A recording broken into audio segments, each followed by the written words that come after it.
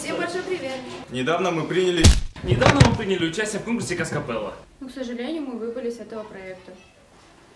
Однако это дало нам стержень для развития и огромный опыт. За что мы очень благодарны всем организаторам этого конкурса. Ну а мы готовы к новым испытаниям.